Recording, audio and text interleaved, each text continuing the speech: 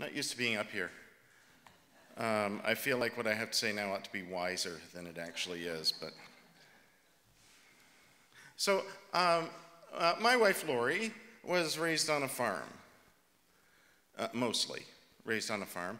Uh, I was raised in suburban Toronto. Just hold on to that because you're going to need that later. Um, and everything that you just immediately assumed about what I just said. The thing is, uh, Lori grew up on a farm, and the family farm is just west of Bashaw. Some of you are probably familiar with Miller Wilson Angus because uh, Lori's sister Dawn now runs the farm.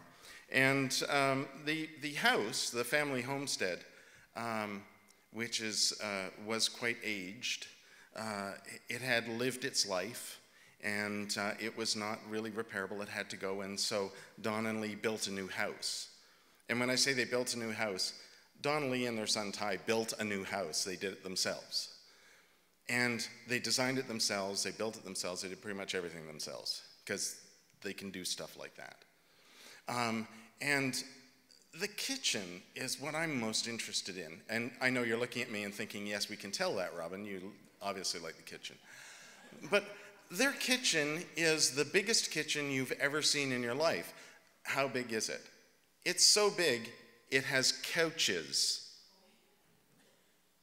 Big couches, two of them.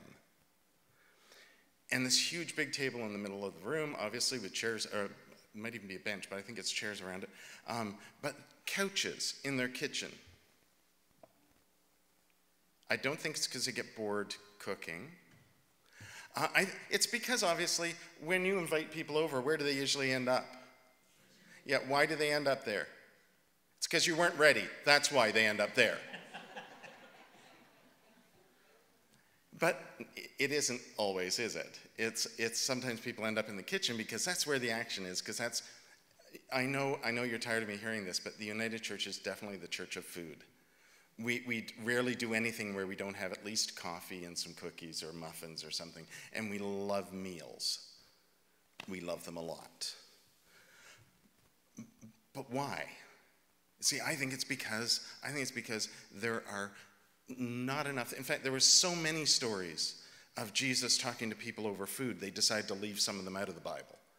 Because I think Jesus realized how important it was to gather people around a table, around that one thing that we all have in common, whether you like it or not food, and have conversation.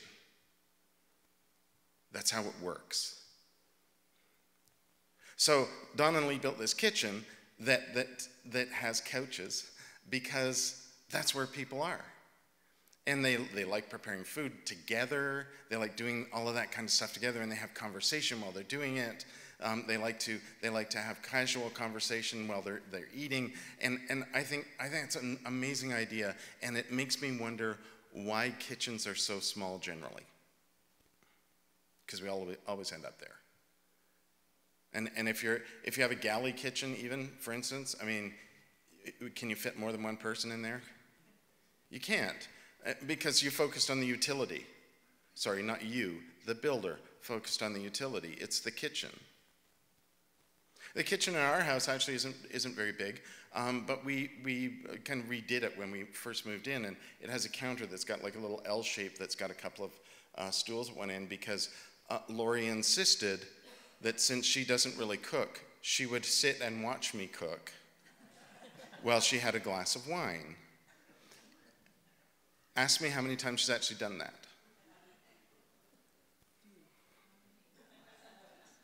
Once, literally once, literally once. Because we just don't do that. But Don and Lee, they have, they have people in their kitchen all the time. And they want them to be comfortable. And they want, they want them to be comfortable there, comfortable there, blah, blah, comfortable there, not just so they can sit and watch them do stuff, but so they can have conversation. Because that's where that happens. I think it's, a, it's an awesome idea. So everybody go and rebuild your kitchen so they're bigger the thing is, we don't often do that, right? You invite people over, and they sit in the living room. And if you've planned ahead and you've prepared everything, you can sit with them and have conversation. But invariably, somebody ends up in the kitchen doing stuff while your guests are sitting in the living room. Unless they follow you into the kitchen, of course. Because we don't always get stuff ready ahead of time, and sometimes it's not always possible to do that. So we end up with people that we just invited over, sitting in the living room talking amongst themselves while we're in the kitchen. See, I want to say that's the, Mary and Martha story, except that you know as well as I do that the odds of Mary and Martha having a separate kitchen from the rest of their living space are probably remote. So you know that, that she was off in the kitchen doing the work. Well, their sister was, and she could see her sitting there doing nothing while she did all the work.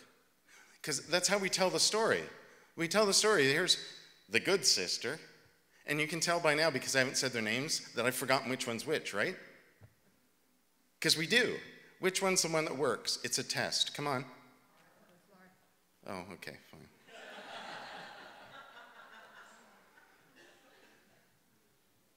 She's doing all the work. And the other one's just, that's how we tell the story. She's doing all the work. The other one's just sitting there doing nothing. Might as well be a teenager. They could be. Who really knows? It doesn't say in the story. But that, that is how we tell the story. We, we, despite the fact that Jesus then says, no, she's doing the right thing, we often tell the story as, no, she's not. In fact, our feelings are probably hurt because we're a worker, we're a doer. Are you a doer? If you're a doer, you're usually hurt by this story. Because it sounds like being the doer isn't the good thing. So forget all that for a minute. because that's not the point of the story. I don't think. I honestly don't. I know I just said forget all that for just a minute because uh, I'm going to talk about it now again because you could probably forget about it for just a minute, but not more than a minute. Because that's our culture. Our, our culture is that doers are better because you want to be somebody who does stuff. You don't want to be the person who sits around and doesn't do anything. That's lazy. Except, except she's not being lazy, she's learning. Oh, okay, so that's like one step better, but not much better. Do you see these? Do you see these memes sometimes? On I know everybody's on Facebook. Um, do you see these memes sometimes where, and you, or you might have seen this somewhere else, where they have a picture of somebody who's clearly somebody who works in a trade or a laborer, and somebody uh, who looks like um, a stereotypical university student or a business person. And the one side it says this person spent $5,000 on their education, um, and now they have a career that set them up for life and they make $85,000 a year. And this side it says they spent $10,000, uh, they're now in debt for $10,000 or more, and they spent eight years getting two university degrees and they serve fries. Have you seen those? I guarantee you they're posted by people who are working trades or labor because they feel badly somehow that somehow this other thing is considered superior. But, but it's not, is the thing. One is not superior to the other. They are what you do. Some people, some people, some people sit and listen and learn. Some people learn by experience and by doing. We know that. It took us about 18 centuries to learn that, but we know that. I'm, I'm an experiential learner. I like to learn by doing. Ask me if I can build anything, because I can't. I'm, I am absolutely 100% envious of Don and Lee and Ty because they can build stuff. I'm useless. I'm lucky to figure out which is the right end of a hammer. I can cook, though, and Lori, it is seriously a matter of survival. You can't let Lori in the kitchen. She'll tell you that. I'm not, I'm, not, I'm not being mean. She'll tell you that for sure. She can bake, by the way. She really can. But that's why I do all the cooking. I think she probably can, but just hasn't really had good experience with that. It's also not what she does. She has amazing gifts to do other things. I, I, like to think I have gifts for other things, but the thing that bugs me about that meme thing, by the way, is I have two university degrees in debt. I think it was worth it though. And here's the thing about this story is that it kind of reflects that how we understand that story kind of reflects that culture of somehow it's a competition. Sometime, somehow we value one of these things more than the other. And those things are represented by the two sisters. Let me ask you to think about this a little bit differently for a second. Think about this story a little differently. Let's think about this story, I, I, and I'm not suggesting that it didn't absolutely 100% happen this way. But think about this story for a minute. Think about the possibility that maybe Jesus made the story up to tell later. And that Mary and Martha aren't, sisters, they're two sides of the same person. And the question isn't which side is more important than the other, the question is when. Because that's a real issue here. It's not a question of whether being a doer or a listener is, is better or worse than the other. It's a question of when you use that skill because you have them all. You have all of those skills. We are all, okay, except between the ages of 12 and 19, maybe. Um, we all have the gift of being a doer and a listener. We have different skills, for sure. We have different listening abilities, different abilities to understand. But, but, but, the issue isn't whether or not one or the other of those is better. It's in the issue is when you use it being able to discern which one is appropriate in this moment. And that's, that's what the story's about. It's not about you're doing the right thing generally, Mary. It's about in this moment, the appropriate thing to be doing here is to be engaging with your guests and being that's true hospitality. Martha may be thinking, no, no, I'm making the best dinner ever for Jesus. He's going to love it. But, but that's not the hospitality that's needed in the moment. What's needed in the moment is engagement. What's needed in the moment is to sit in com- listening and engage in conversation and learning. There's a time for doing. You know there's a time for doing. Because you might remember that the story that precedes this story in Luke is the, the man who comes to Jesus and says, What must I do to enter the kingdom of heaven? And Jesus tells him the story about the Good Samaritan to explain what it means to be a neighbor. And what does it mean to be a neighbor? Does it mean to do nothing and pass on by when someone's in trouble? No, it means to stop and take action. And most importantly, to remember that your neighbor is everyone. That's the, the point of the story. The, your neighbor is even those who you think are least likely to be deserving of your attention. That's your neighbor. And what are they getting from you?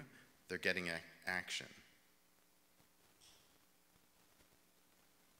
Jesus didn't say, Go and love one another as I told you.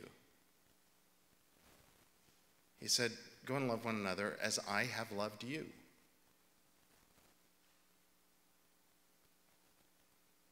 It, it, it, it's all about the doing in that moment. But the learning, the learning is a little bit of both, isn't it? In this moment, in this moment, it's about engagement with Jesus rather than what you are able to offer to Jesus. In another moment, it might be all about what you're able to offer.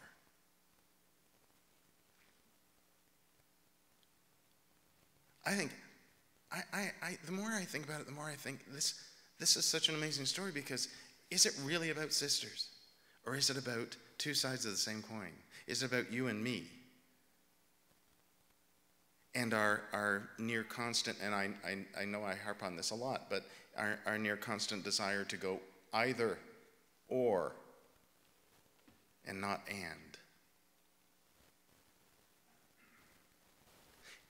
It's not just about action, it's not just about doing, it's not just about listening and learning. It's about how we put all of that together. Life with Jesus is about all of that together. To love as Jesus showed us to love. In words and action, and, and, and.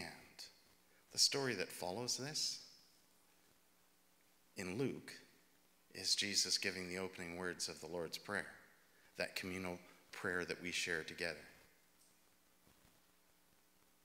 It's about, it's about, it's about action. It's about learning and listening.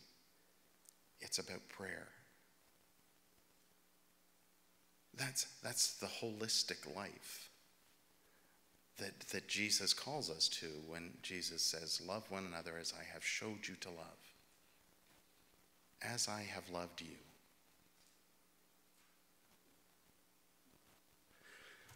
Whether Mary and Martha are two different people, uh, they are certainly different characteristics.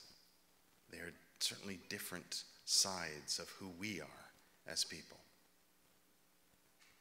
It's, it's not an either or, it's and.